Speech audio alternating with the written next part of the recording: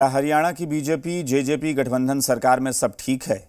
ये सवाल इसलिए उठ रहे हैं क्योंकि पिछले कुछ दिनों से बीजेपी और जेजेपी में जारी बयानबाजी के बीच बीजेपी प्रभारी बिप्लब देव ने सीएम मनोहर लाल खट्टर से लंबी मुलाकात की।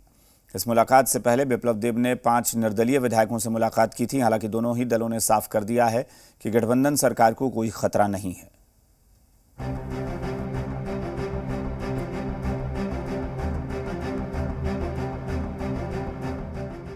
शुक्रवार शाम हरियाणा के बीजेपी प्रभारी बिप्लब देव जब चंडीगढ़ के सीएम आवास संत कबीर कुटीर पहुँचे तो हरियाणा से लेकर दिल्ली तक सियासी अटकलों का दौर शुरू हो गया।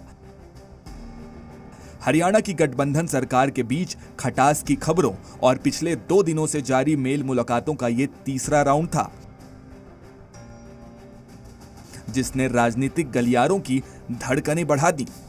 संत कबीर कुटीर में शाम सात बजे शुरू हुई सीएम खट्टर और प्रदेश प्रभारी बिप्लब देव के बीच करीब तीन घंटे तक बैठक हुई। इस दौरान कृषि मंत्री जेपी दलाल भी मौजूद रहे। इसलिए माना जा रहा है कि सूरजमुखी के एमएसपी को लेकर चर्चा हुई होगी। लेकिन एक कयास ये भी है कि इस बैठक में गठबंधन सरकार को लेकर भी चर्चा हुई होगी। भाजपा हरियाणा के प्रभारी बिप्लब देव, शुक्रवार शाम चंडीगढ़ पहुँचे और यहाँ पर उन्होंने मुख्यमंत्री आवास पर मुख्यमंत्री से बात की और उनकी जो बैठक थी शाम करीब सात बजे शुरू हुई, जो दस बजे के बाद, यानी तीन घंटे से ज़्यादा उनकी बैठक चली है, काफ़ी लंबी बैठक चली है। जिस तरह की चर्चाएँ सामने आ रही हैं, उसमें ये समझा जा रहा है कि इस बैठक में गठबंधन को लेकर तो बात हुई ही है, साथ ही साथ किसानों को लेकर ही बात हुई है, क्योंकि बैठक में कृषि मंत्री जेपी दलाल भी मौजूद थे और जिस तरह से प्रदेश में सूरजमुखी की खरीद का मुद्दा चल रहा है, किसानों का प्रदर्शन भी हुआ था कुछ दिन पहले तो उस मुद्दे को लेकर भी बात हुई है।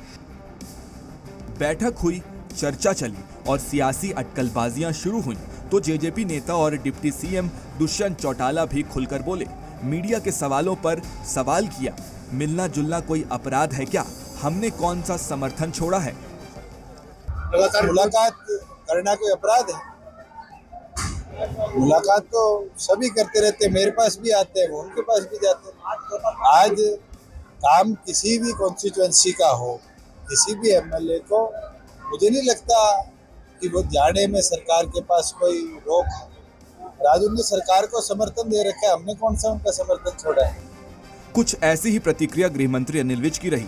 उन्होंने कहा कि विप्लव देव हमेशा मिलते रहते हैं निर्दलीय विधायकों से भी मिलते हैं सबसे मिलते हैं। नहीं नहीं विप्लव देव जी हमेशा सबसे मिलते रहते हैं ये कोई नई बात नहीं है। वो बहुत अच्छे ढंग से वो हमारे प्रभारी हैं वो पुराने कार्यकर्ताओं से भी जा जाकर मिल रहे हैं और निर्दलीय जो हमें समर्थन दे रहे हैं, उनसे भी आज मिले हैं। बाकी भी अन्य संगठन के लोगों से भी वो लगातार बातचीत करते रहे। जहाँ तक भारतीय जनता पार्टी है, हमें कोई मोड चेंज नहीं करना पड़ता। क्योंकि हमारे जो सैनिक हैं, वो हमेशा फ़ील्ड में ही रहते हैं। वो कभी भी बैरकों में नहीं जाते हैं। ये तैयारी तो उनको करनी पड़ रही है, जो बैरकों में चले जाते हैं। अटकलों का क्या है? वो तो समय समय पर किसी भी गठबंधन सरकार का हिस्सा रही हैं। अब दुष्यंत चौटाला के इस बयान को ही सुन लीजिए, जिसमें वो कहते हैं कि गठबंधन सरकार बनाकर किसी ने भी एक दूसरे पर एहसान नहीं किया है। हालाँकि दुष्यंत चौटाला को लगता है कि फ़िलहाल गठबंधन सरकार में कोई दरार नहीं है। भारतीय जनता पार्टी और जननायक जनता पार्टी का गठबंधन, माननीय अमित शाह जी के घर पे हुआ था साढ़े दस बजे। और मुझे लगता है दोनों पार्टियों ने एक दूसरे से चर्चा कर कर, सहमति कर कर प्रदेश में गठबंधन किया था। मुझे नहीं लगता किसी ने किसी पे एहसान किया प्रदेश कैसे समृद्ध होकर प्रगति के पथ पर चले, इस विजन के साथ दोनों पार्टियों ने मिलकर प्रदेश में सरकार चलाई वैसे तो गठबंधन सरकार को लेकर बयानबाजियाँ पिछले कई दिनों से जारी हैं, लेकिन इसको तब और बल मिल गया जब बीजेपी प्रदेश प्रभारी शुक्रवार को निर्दलीय विधायक गोपाल कांडा से मिले। और इससे एक दिन पहले चार निर्दलीय विधायकों से दिल्ली में मुलाकात की। सरकार की और कार्यशैली में कोई परिवर्तन किसी प्रकार का कोई सुझाव तो उस विषय में चर्चा हुई। हरियाणा नहीं पूरे देश के अंदर ये चर्चा है। जेजेपी और बीजेपी के नेताओं के आपस में विरोधाभास जो व्यक्त आ रहे हैं। एक दूसरे के विरोध में आवाज़ आ रही है। तो मैं चाहता हूँ कि आने विपुल देव जी एस जनता की भी आवाज़ है और मको मेरी भी हार्दिक इच्छा है कि इस जेजेपी के साथ गठबंधन बीजेपी तोड़ देना चाहिए। इन विधायकों में रामपाल गोंदर, राकेश दौलताबाद, रणधीर सिंह और सोमवीर सांगवान शामिल रहे। निर्दलीय विधायकों से घटती दूरी ने ही इस चर्चा को हवा दे दी कि बीजेपी अंदर खाने सब कुछ सेट कर लेना चाहती है।